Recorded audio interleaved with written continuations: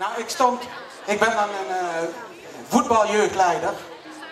En ik, uh, ik was als grensrechter bij een wedstrijd aanwezig.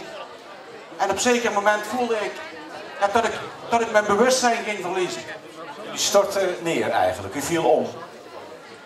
Omdat ik voelde dat ik mijn bewustzijn ging verliezen, dacht ik, ik ben op een sportveld, hier zijn mensen aanwezig, die kunnen mij misschien helpen, want ik, ik, ik wist dat ik, dat ik om zou vallen. En omdat ik grensrechter was, heb ik toen mijn vlag weggesmeden, gewoon om aandacht te trekken.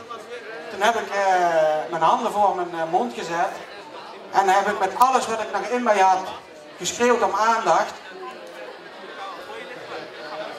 En voor mijn gevoel moeten ze die, die schreeuw, die moeten mensen op 2, 3 kilometer afstand gehoord kunnen hebben. Maar de werkelijkheid was dat men alleen maar zag dat ik mijn lippen naar bewoog. Zo ver was ik al weg. Ik ben toen op mijn linkerknie gaan zitten en toen ging het licht uit. Dat was zaterdagmiddag om kwart over vier. Of sorry, om kwart over één. En het eerste wat ik hoorde was dat een hele vreemde stem langs mij zei: Het is dinsdagmorgen half vier. Goedemorgen, meneer Van der Brand. Een wel heel persoonlijk verhaal, jongens en meisjes, van iemand die het heeft overleefd. De hamvraag is: bent u weer helemaal gezond? Ja, ik, uh, ja, ik, ik heb een uh, inwendige defibrillator geïmplanteerd. Dat is zeg maar een klein kastje wat mijn hartritme continu in de gaten houdt.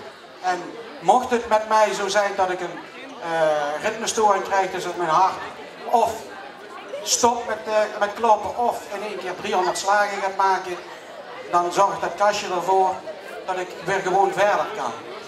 En voor de rest heb ik eigenlijk heb ik daar helemaal niks aan overgehouden.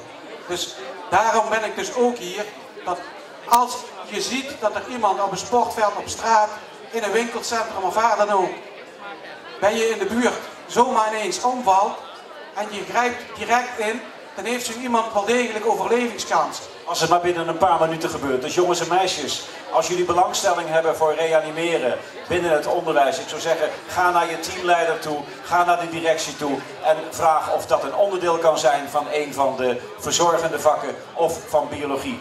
Uh, hij is uh, Erik van der Brand, ambassadeur zou je kunnen zeggen vandaag van de reanimatie estafette 2011. Dankjewel voor je persoonlijk verhaal.